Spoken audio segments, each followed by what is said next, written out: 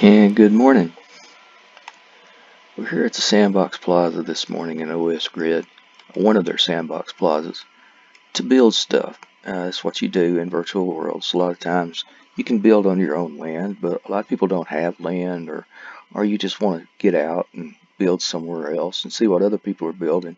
Usually in a sandbox there's a lot of builds going on. Uh, today it's pretty quiet here. I don't even see anybody else in the sandbox which is which is okay because we're just going to be building a little small build and then we'll be on our way. Now, um, to build is, is, is pretty simple. Uh, there's a few basics that you have to know. Uh, now, first, when you right click your mouse on the ground, like that, you get a pie menu. And sit here, go go here, create, about land, edit terrain. And we're going to select create. Alright, so we left click create and what we have here is we have a, a build menu. And this is uh you have your representation of the shapes that you're going to build up here. It's a cube a, a prism a pyramid a, a sphere a cylinder uh, and we have some uh, ring tori and uh, a lot of different shapes. So you can even build plants with this out of this menu but what we're going to do is just use basic uh, cube for now. So here, let's do this. So we're going to click right, uh, left click on the ground and it'll build that cube and then see you have your axis here. Uh, your that you can move your cube around in the different axes. And so what we're going to do is we're going to stretch that because it's with, we need something that we can hold in our hand.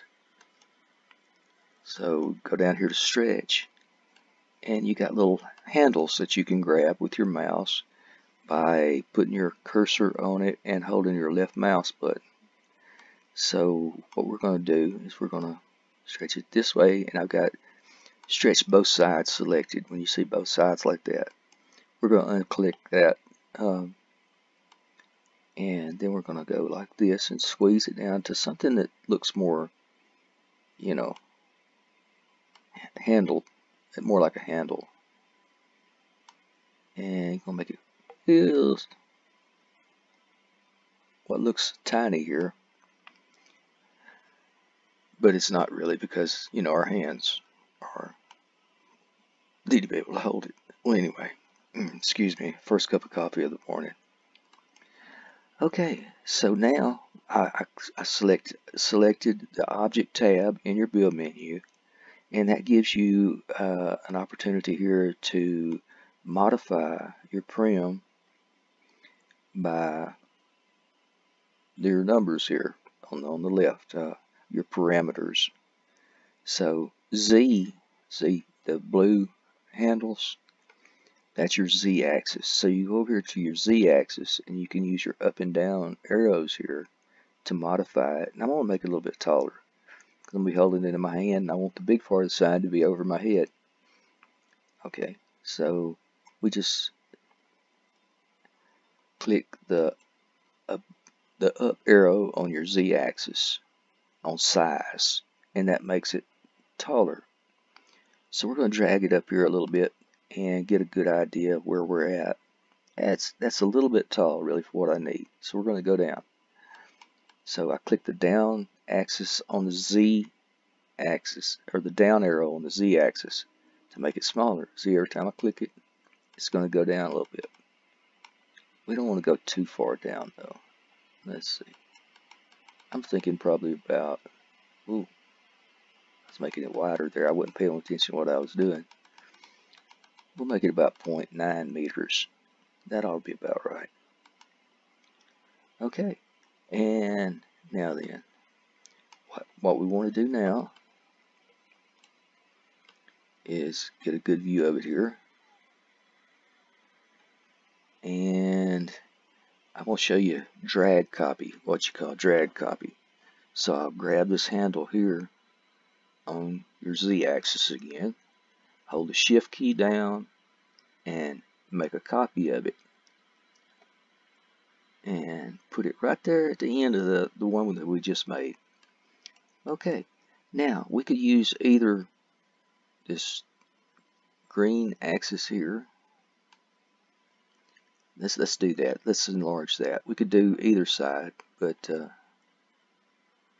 did I copy it? Hmm. Yeah, I did. Okay, I couldn't see the the one that I had copied from. Okay, let's enlarge that on your y-axis to make the the sign. Oh, there we go. See how easy that was. Now, we want to make it big enough where people can see it from, from a distance. And let's make it a little bit bigger. Okay, so we're going to enlarge it on the z-axis a little bit here. Oh, that's getting much better. And maybe a little bit bigger on the y-axis. Oh, that's perfect. Okay, what we're going to do is we're going to link the handle that we just made and the sign that we just made. Now I'm going to make the handle the, what you call the root at, at the root prim. So you select it first and then you select the top part of the sim. You hold down shift and select it and actually the root prim is the last prim. I I'm, I apologize. I only I've only had half a cup of coffee this morning. Your root prim is going to be the last prim that you select. So we'll select that, select that, and link it. And I hope I got that right. Yeah. Okay, now the handle is the root prim. See, it's yellow. And then all your child prim are blue. Yay. Okay, so let me get this out of my camera controls again. Now, it's okay to leave the handle wood color, but we need to, uh, oh, and I closed out my exit menu. See, that's how, how awake, awake I am. Okay, so we want to select this sign here, but we don't want to color all of it or, or texture all of it. We want to select just these two sides. So we go up here to your build menu again and select face and then click it and then this face is, is selected. See the other the other side isn't selected at all yet. It, nothing that you do to this one side will affect the back side. Okay, now we open our texture menu and see it gives you uh, a lot of options here, coloring it, uh, how trans transparent you want it to be. You can make it glow, you can make it shiny, uh, you can even put a movie on it. Uh, you can go down here to your media menu, but we're not going to do that. We're going we're going to work on the materials tab today. Now, I uploaded a couple of signs earlier. I, we're going to use a couple that I like to use in real life. So what we have to do is we have to go up here to the build menu and go to upload image and in most virtual worlds they'll let you do this for free. So let's find the menus, the, the, the images that I want and that would be uh, for or I can't spell this morning. Huh, for God so loved the world. And we'll open it, and there we go. Now then. Now, that it just automatically opens my inventory. It's just a setting. Uh, I, I use it to kind of make sure that it uploaded. But anyway, you go over here to your, your texture tab, click on the texture window, and it opens up a browser to your inventory and you can use textures all over your inventory but what we're going to do is we're going to go over to the textures tab and get the one that we just uploaded. For God so loved the world. Oh look at there. And let's put another message on the other side of it. I'm using my camera controls to cam around to the other side of the sign. And then we'll pan over a little bit and select this side. Okay. And I've already uploaded this one so we'll select that and now we have a different message depending on what side of the sign you're on fools mock at sin proverbs so now we're going to put a, uh, a note card in there so when somebody can click it. Because in real life, you'd want to give a, uh, a pamphlet out or, or a few pamphlets, you know, when somebody asks you a question. But we're going to make this to where they can reach over with their mouse and, and left click it and get a, when, it, when they hover their mouse over it and, and they can get something out of it, a little hand will appear and we'll show you that later though. We're going to open up our content tab here and open up our inventory and we're going to get a give script, a giver script. And scripts are just things, as is a little uh, program that you put into it and it gives things, uh, well it can do things in world. And this all this script does is just give whatever in the contents of the sign to whoever touches the sign. And now we're going to find the note card. And let's see, I have literally thousands of note cards. But what we're going to do is we're going to find one. Uh, I have one called The Greatest Gift that I really like. And The Greatest Gift. And see, I'm misspelling this morning. I'm really not here. There it is right there. So, and we put that in there and let's see I'm gonna put an animation in here a sign animation so that whoever is holding the sign can edit that click on that that animation and they're automatically holding the sign let me watch this uh, let's see hold sign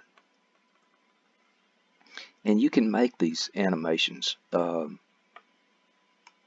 I'll make a will uh, make a video later on how to how you can create these animations this is just a simple animation. It just makes you hold hold your arm at a certain angle and looks like you're holding a sign. Okay, so we're good. Now, who see how that changed into a hand? And when you click it, it gives you that note card. And nothing can compare with all that is ours in Christ when we find salvation. And I've got like 10,000 copies of that, so I'm going to delete that and discard it. All right and we need to name this sign so that we can actually find it in inventory. So we're going to edit it again. We're going to go to Object and General. And then we're going to name it uh, Evangelism sign.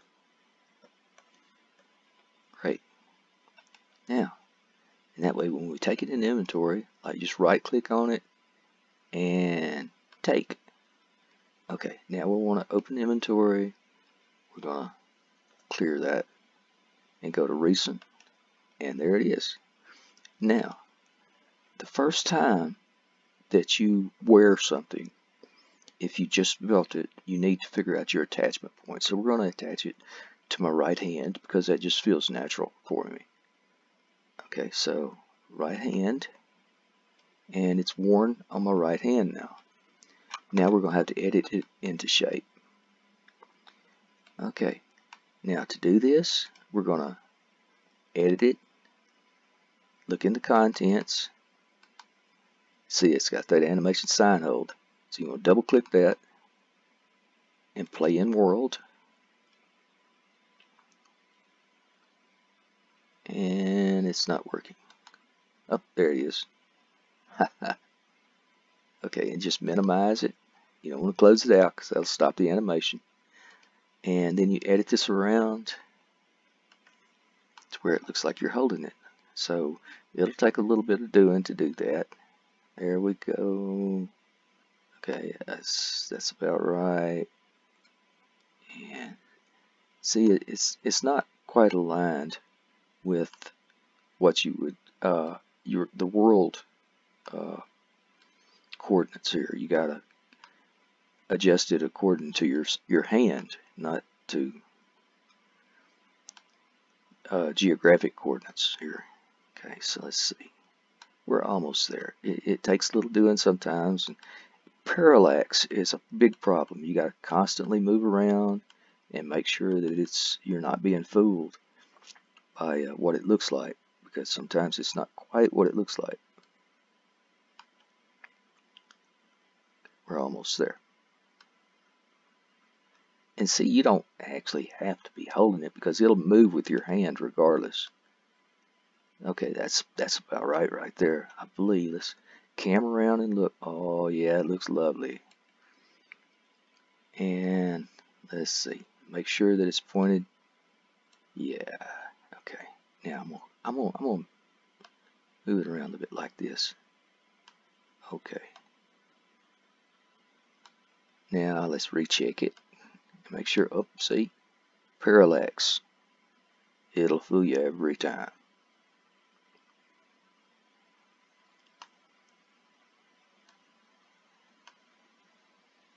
And it would help if I was paid more attention to where I was standing and what direction and everything.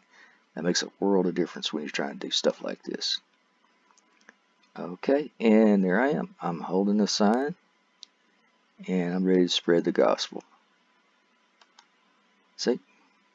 And I can turn around and whoever is around, I can spread the gospel. Okay. Now, and to get rid of it, you just detach and you find your animation, close it out, and you're good. Oh, and the animation is. Anyway, that's how we do that. And uh, I'll bring more, give, give you more tips here later. Bye.